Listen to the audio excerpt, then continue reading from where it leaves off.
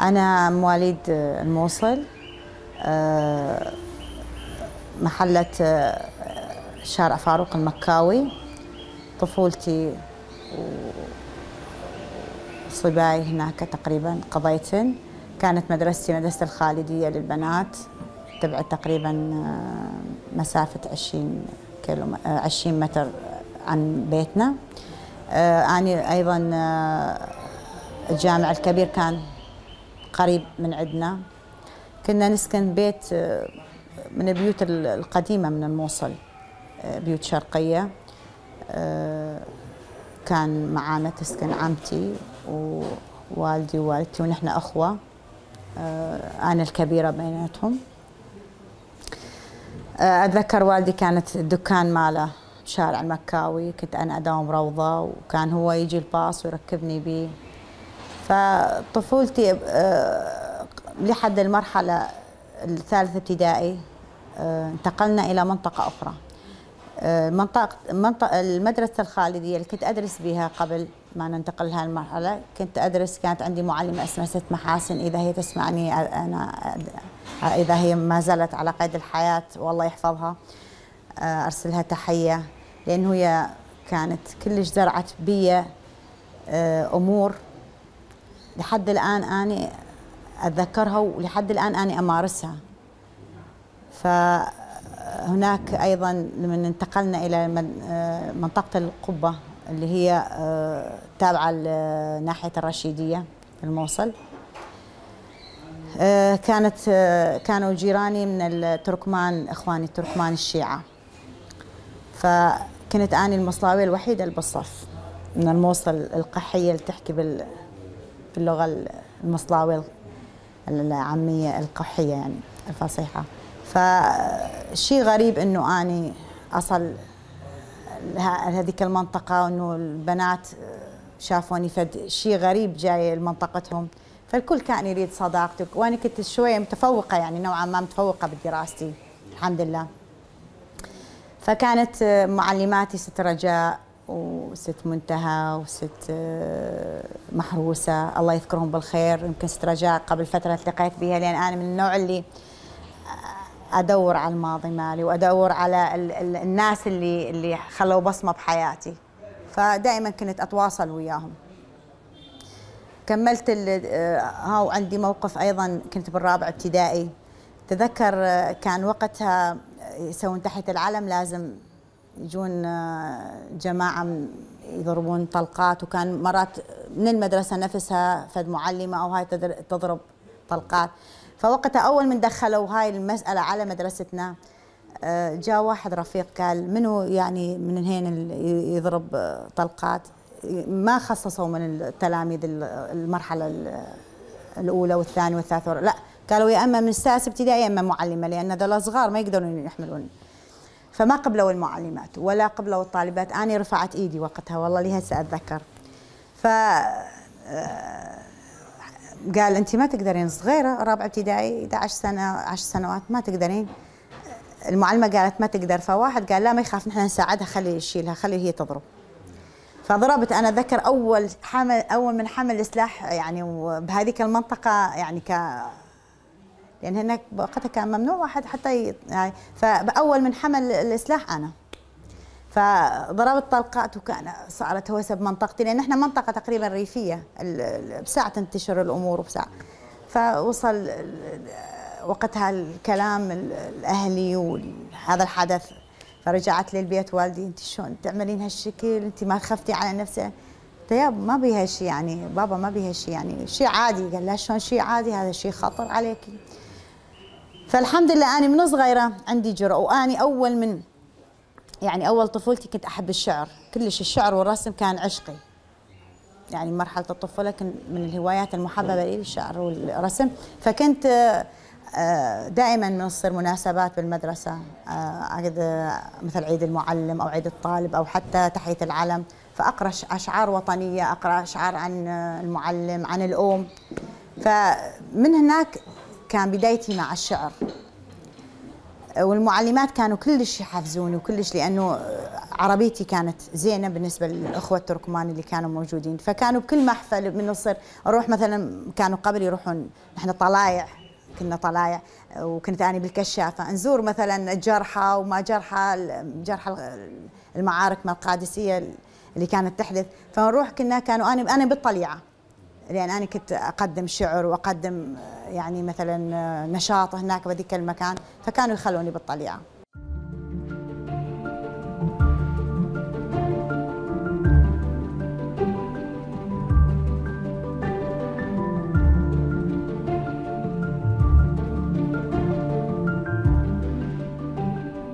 الشعر من وأنا صغيره اني هذه أكتب شعر. من أنا صغيرة أرسم وأكتب شعر. ما الشعر والرسم ما تركتهم. حتى من كنت رياضية ما تركتهم. كنت أشارك بمعارض المدرسة كنت أشارك بأشعاري. حتى بالفترة بالمناسبة أكو نقطة. أنا قبل ما أدخل معهد الفنون والدي أصر إنه أدخل تجارة. ما قبل أدخل فنون. إحنا الفنون فاهمينها غلط. معهد الفنون كانوا فاهمينها غلط إنه هاي معهد موسيقى ودق ورقص وهاي الأمور ما يعرفون بأقسام بأقسام رسم. فوالدي ألح علي إنه أدخل مو من هاي الناحية بس إنه هو ما عنده أحد أنا كنت الكبيرة وكان عنده محلات. قبل كانوا قبل آه، حتى عندهم آه، آه، بطايق مال أورزدي. شي يوزعون بأورزدي هم يجيهم يعني والدي كان بالغرفة التجارية. يعني كان محلاته على مستوى بالمنطقة. فقال اني إلمن هاي المحلات أنت درسي إدارة واقتصاد حتى تجيني أنت يعني تستقبلين هاي المحلات. والدي كان منفتح بس يخافهم علي. فقال لي لا تدخلين تجارة. تدرسين إدارة واقتصاد حتى تجين. يعني يعني متعقده أصلا من هاي الأمور. دخلت أول سنة قبل ما أدخل فنون دخلت أول سنة تجارة وكنت يعني شاطرة يعني هم حتى إن كانت هم مدرسة ما أذكر اسمها بس هم تركت بصمة حلوة بحياتي. الله يذكرها بالخير. كانت تجينا بالمحاسبة. شجعتني إني أسوي بحث لأن أنا كنت شاطرة بأمور المحاسبة وهاي الأمور.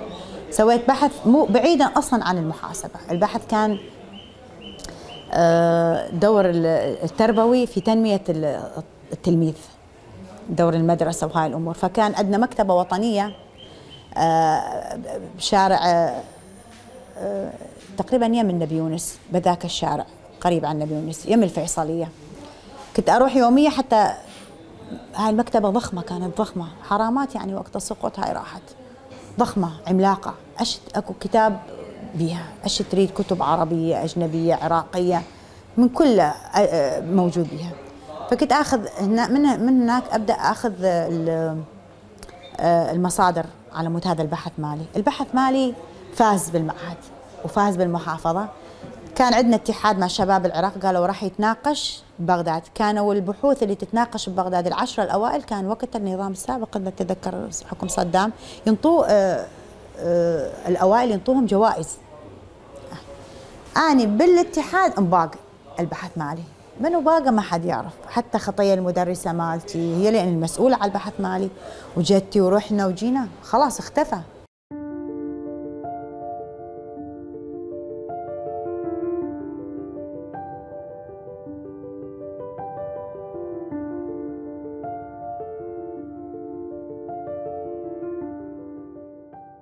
فترة المعهد مالتي.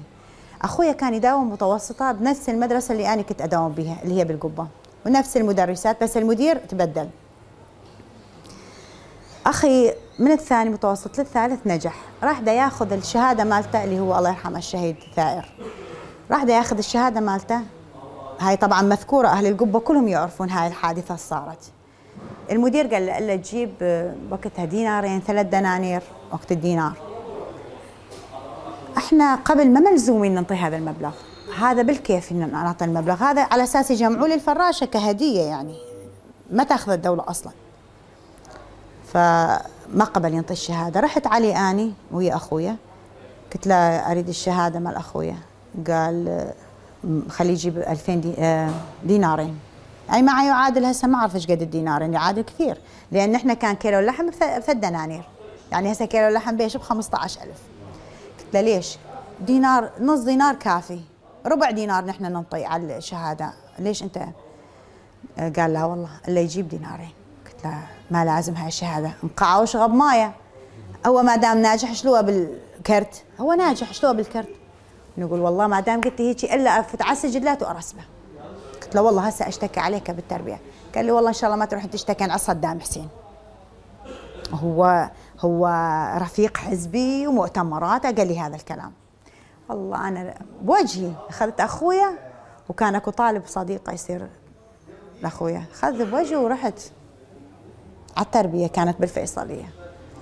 فتت على استعلامات. ما أعرف أني 16 سنة مرحلة معهد أول مع أول معهد فنون كنت. طبيت على على الاستعلامات قالت إيه اكتبي هنا الاعتراض مالك أو تريدين تشتكين على من اكتبي هنا. قلت لها إيه وبعدين قالت نحن نقدمه. حقت شغله ما صارت كنت افوت بدهاليز التربيه طلعت على الطابق الثاني مكتوب سكرتارية المدير. دخلت جوا اثنين مكتبين سكرتارين للمدير مع التربية. ما أعرف إيش كان اسمه بذاك الوقت. هذا الحكي أحكي لك إياه ب 88 89 ف آه، دخلت على السكرتارية رجلين آه، نفس عمرك. يعني عمرهم أرواح أعمارهم من 40 إلى 50 سنة كبار بالعمر. وأنا قال لي تفضلي بنتي شو تريدين؟ قلت له أريد أقابل المدير. قام يضحك. قال ليش؟ قلت له والله عندي شكوى. قال لي انزلي جوا لازم جوا بعدين هي من يجيبوها هو راح على هذاك السكرتير ما أدري إيش يتباحثون أنا دحقت هاي غرفة المدير مكتوب عليها المدير مدير التربية. فتحت الباب ودخلت. لحقوني وين ما وين هو ما فتت. هذول لحقوني. قال اطلعي. هو قال عوفوها. شو تريدين بنتي؟ لا أنا جاي أقدم شكوى. يقولوا لي والشكوى ما ما تنتظر لأن هذا يريد يرسب أخويا، الشكوى ما تنتظر يروح يتلاعب بالسجلات. قال شنو؟ وكان لابس زيتوني. وكان يمه أكو واحد قاعد هم رتبة. فقال اقعدي خلوها اطلعوا. حكيت له أول اول يعني جملتين ثلاثة قال لي دقيقة فتح التسجيل تسجيل من هذا؟ شيء من هذا القديم. فتحها قال انت هسه احكي طول السالفة هاك. كيت وكيت وكيت. وهذا الشخص مدير المدرسة يقول لي لو تشتكين على صدام حسين. قال هو قال هيك قلت اي والله قال هيك وعندي شهود لأن الولد كان وياي صديق ابني موجود والفراشة أيضا موجودة لما حكى هاي السالفة آه قال انت وين انت طالبة عندك؟ قلت له والله اني طالبة بأول معهد، قال وين اهلك؟ قلت له والله موجود وال... قال ليش ما جا؟ قلت له والدي صاحب شغل هو يتعب لنا من الصبح لليل ما معقول نخليه بمشاكلنا ويعوف شغلنا ولقمة عيشنا. وأنتم قياديين ما شاء الله بالثورة وهاي ثورة حزب البعث لما أنتم هذه القيادة مالكم بهاي الهيئة وهو يحكي باسمنا وظلم. وهذه نحن شلون يعني تقبل هذا؟ نحن هم أبناء الثورة قلت له هيجي إحنا أنا اسمي ثائرة قلت له. إحنا هم أبناء الثورة. فقال روحي. اعطيني عنوان شو اسمك؟ وروحي واسم المدرسة واسم المدير قلت له. رحت على البيت. آه، مرت أبويا وهناك الموجودين ضحكوا وقالوا انت من كل عقلك يعني راح ياخذون الشكوى مالك وهاي قلت والله أني سويت اللي علي وإن شاء الله يا ربي الله يوفقنا. ثاني يوم رجعت من المعهد. ورا الظهر جانا آه، واحد وصلني الدعوة. دق الباب قال هذا بيت فلانة الفلاني قلت إي نعم. طلعت عليه أول مرة والدتي وصاحتني قالت هذا يصيحي قال أنت قلت له قال باكر أنت تجين على المدرسة لأن راح تشكل لجنة وتحقيق.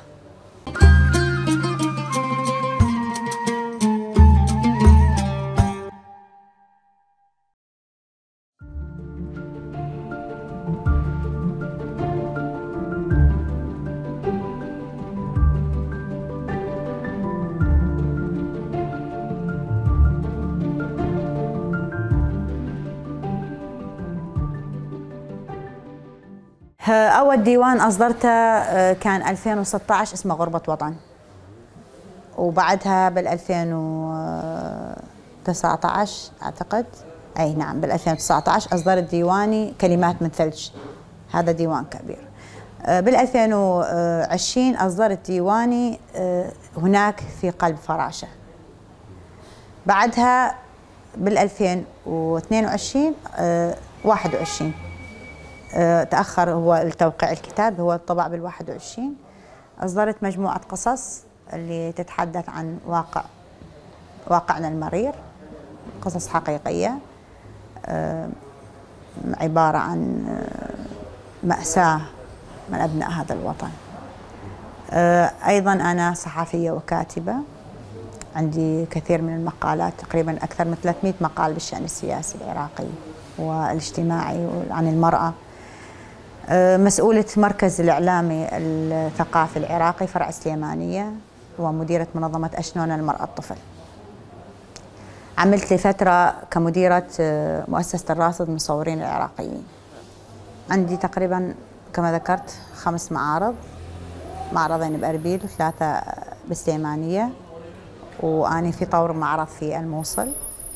أه المعارض اللي افتتحها عندي معرض افتتحها دكتور هافال محافظ السليمانية كان في قاعة كلاري في سرشنار ومعرض افتتحها القاضي رزكار محمد أمين في حديقة بارك أزادي. طبعا أنا عندي group نسائي يشاركون أحيانا معي في المعرض هم على الأدو على الشغلات اليدوية. وأنا خصوصي على الرسم. آه نعم آه آه أنا اخترت كأفضل شخصية آه لعام 2022 كأفضل شخصية إنسانية وأيضا عندي درع الإنسانية اللي آه أهدوا الشخصيات من سليمانية أربعة اللي هو محافظ سليمانية وأيضا آه حاكم القاضي راسقار محمد أمين وشخصية أخرى وأنا من ضمن الأربع شخصيات. اللي أخذت درع السلام اللي هو مركز حوار التعايش السلمي في العراق أحييهم اللي هم دائما يعني نشاطاتهم على مستوى التعايش السلمي العراقي.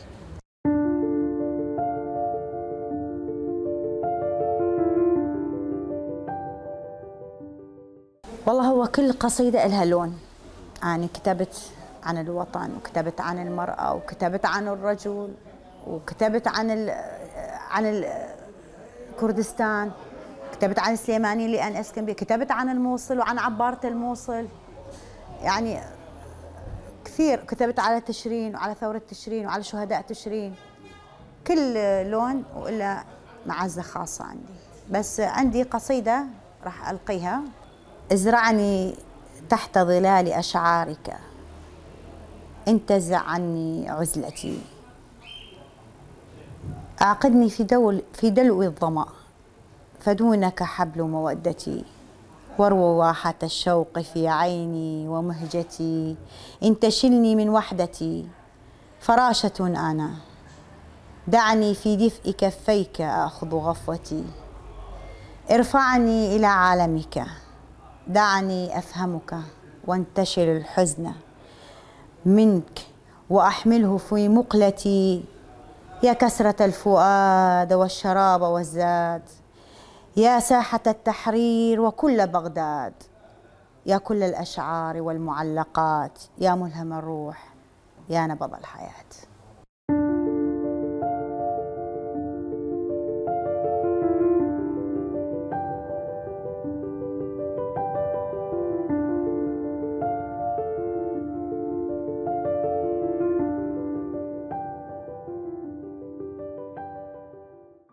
اكوش كلام ما أعرف المنقاله يقول الغربة غربة الروح.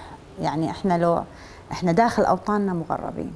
يعني مو إلا لا بالخارج أعتقد يعني مو مثل داخل أوطانك. انت من داخل وطنك وشوف المأساة وشوف آه الكوارث اللي حصلت تحصل حصلت. تشوف نفسك إنه أنت غريب بوطنك. لما أنت تهمش ولما أنت آه تهجر وتنزح إلى غير مناطق. صح نحن داخل العراق نازحين بس يبقى موطنك الأصلي وتبقى مكانك وين ولدت. فالوطن يعني أمنيتي أنه كلنا ننجمع بيد واحدة. لأن إحنا العراق في السيفساء في القوميات في الأديان. يمكن أكثر دولة عربية العراق فيها هاي الطوائف والقوميات. العدو واحد وكل كلتنا نعرفه. فلازم نكون يد واحدة.